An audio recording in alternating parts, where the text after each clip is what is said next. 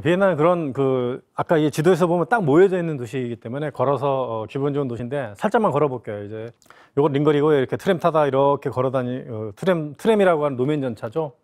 이렇게 갈 수도 있고요. 그다음에 이렇게 걸으면 좋아요. 여기 보면 여기가 이제 박물관이에요. 아, 자연사 미술사 박물관, 자연사 박물관, 쌍둥이 건물이죠. 무슨 조선 총독부 건물이 딱 두 개 서 있는 것 같아요. 여기 이제 뭐 신왕궁인데 여기도 다 박물관이에요. 무지막지한 박물관. 여기 다 박물관. 정말 가보면은 정말 깜짝 놀라요. 우와! 자, 여기만, 딱 여기만 보는데 일주일 이상 걸려요. 볼게 너무너무 많은 거죠. 이 골목골목, 이건 다 이제 역사적인 장소들이고 이제 할 얘기가 되게 많은 곳인데, 어, 이게 이제 이렇게 펼쳐져 있는 이제 신왕궁 있는 거기서부터 시작되죠. 링거리 사업을 하면서 만들어 놓은 이런 건물이에요. 예, 이렇게 보면 코끼리처럼 생겨서 어, 하얀색 코끼리. 예, 굉장히 놀림감을 많이 어, 당했죠. 예, 뭐 무지무지한 건물이니까. 근데 왕들이나 합스부르크 집안 사람들은 살지 못했어요. 살기 전에 망해버렸으니까. 1차 세계대전, 1914년도에 1차 세계대전이 일어나잖아요. 1917년도에 스페인 독감이 확 퍼지고, 1918년도에 이제 끝나면서 합스부르크가 망해버려요. 쫓, 쫓겨나요. 국민들이 쫓아내요. 당신들 때문에 우리나라가 망했다. 17개 국가, 17개 국가를 지배하던 그 쪼그라 들어가지고 요만큼밖에 안 됐다. 그래서 연합군들이 어떻게 만들었냐면 오스트리아와 헝가리와 체코의 땅을 똑같이 만들어 놨어요. 크기를. 오스트리아, 오스트리아 땅이 지금 우리나라 이제 남한, 대한민국 땅 넓이에 어, 89%밖에 안 돼요. 예. 알프스가 우리나라 남한 땅의 세배인데 아, 두 배, 딱두 배인데 그 정도밖에 안 되죠. 여기 그 시틀러가 그 오스트리아 합병하려고 연설했던 장소고 여기 있는 장군이 있어요. 유진 장군이라고 굉장히 유명한 장군인데 전쟁의 신입니다. 그러니까 뭐 터키와의 전쟁뿐만 아니고 워낙 싸움을 잘해서 하여튼 이 사람에 대한 일화를 얘기하면 재미난 게 되게 많죠. 이 사람이 이제 오스트리아 사실 싸움을 잘하는 사람이 없어요. 오스트리아 합스부르크 내에서도 없고 그냥 주로 다 외부의 용병 같은 사람들이 와서 싸움을 좀 잘해줬는데 터키와의 전쟁하는데 이 사람이 형이 기독교 연합군으로 왔다가 터키하고 전쟁하다 져요. 그 이 사람이 이제 프랑스에서 와서 나 이 사람 장군 저 왕자거든요. 왕자인데 사보이 공국이라는 곳의 왕자예요. 이제 와가지고 형이 죽었으니까 나 군, 군인 시켜주세요. 해서 옵니다. 그 당시 이제 프랑스에서는 군인이 안 돼요. 왜냐하면 못생겨서 군인 안 시켜줘요. 야, 너같이 못생기는 군인이 될 수가 없어. 어? 허우대도 좀 크고 해야 되는데 넌 안 돼. 이렇게 얘기한 거죠. 근데 이 사람이 머리가 좋고 천재이기 때문에 비엔나에 와서 자신의 전략을 이렇게 제시를 하니까 비엔나에서 오케이.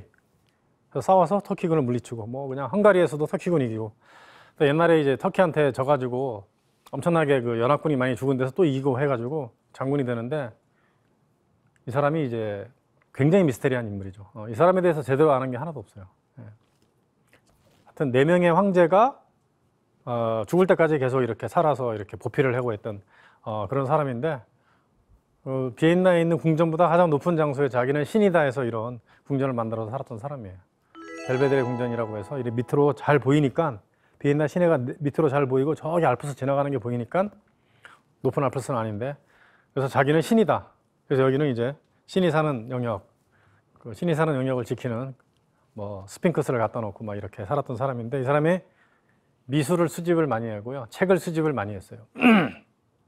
그 사람이 이제 후손이 없으니까 이제 하여튼 우여곡절 끝에 이 사람의 그림 다 사고 책 사고 해서 이렇게 했는데 나중에 이런 그림도 이제 걸려져 있는 거죠.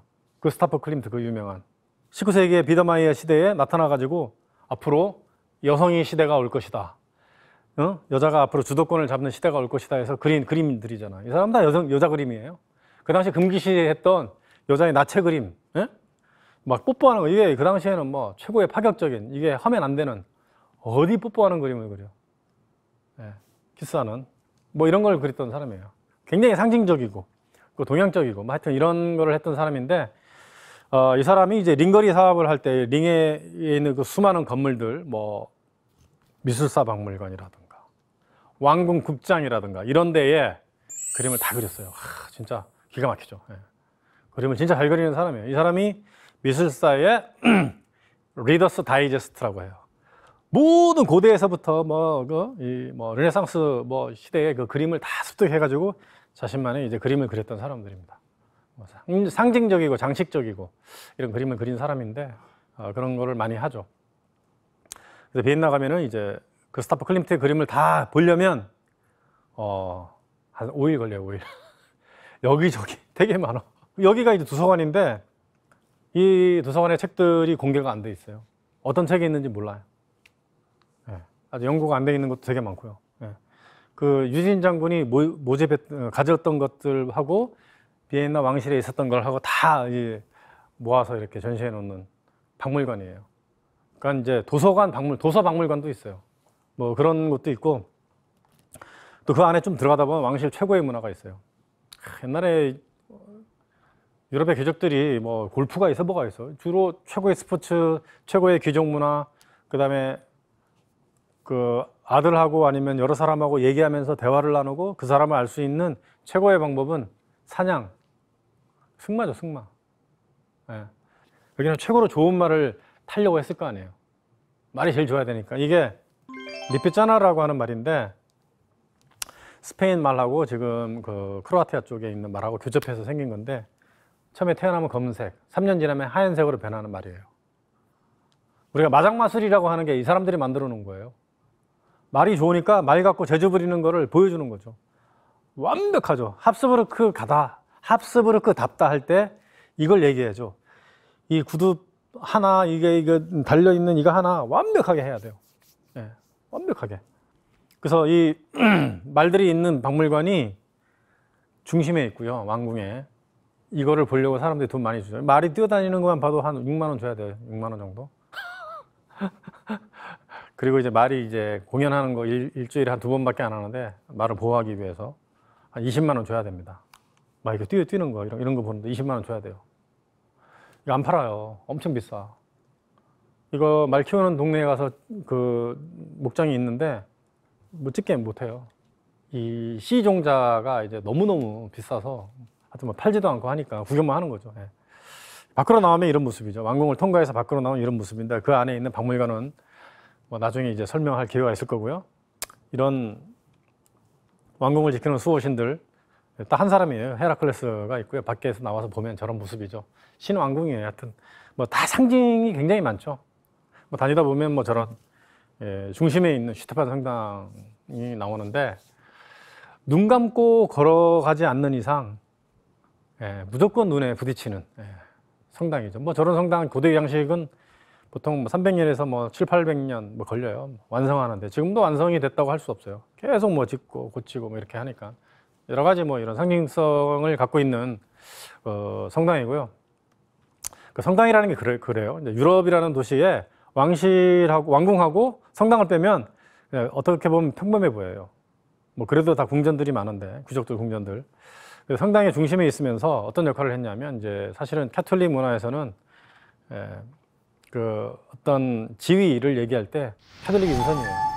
캐톨릭이 그 모든 그 소- 소속돼 있는 사람이 왕이나 황제보다 높이 있어요. 지금은 아닌데 불과 한 1, 200년 전만 해도 그랬어요. 높이 있는 거예요.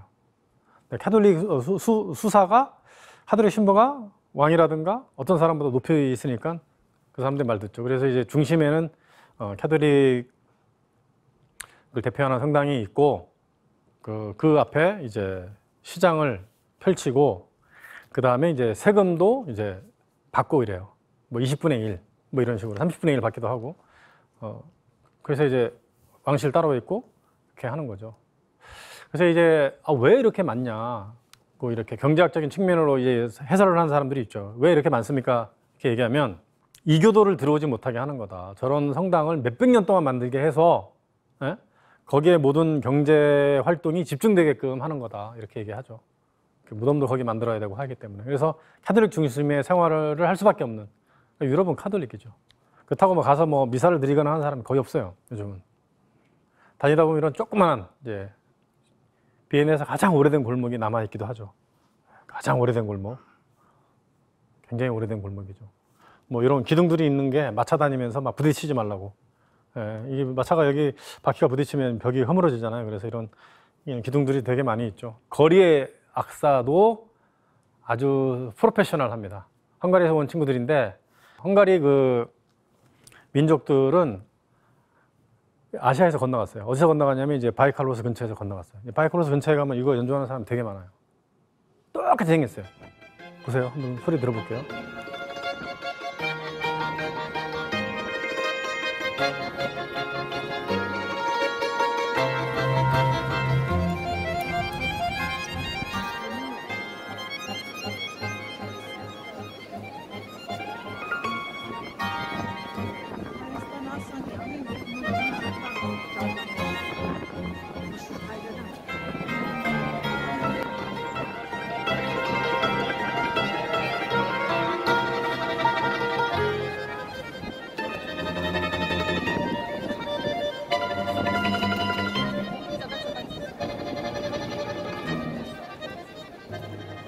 이 정도예요, 이 정도.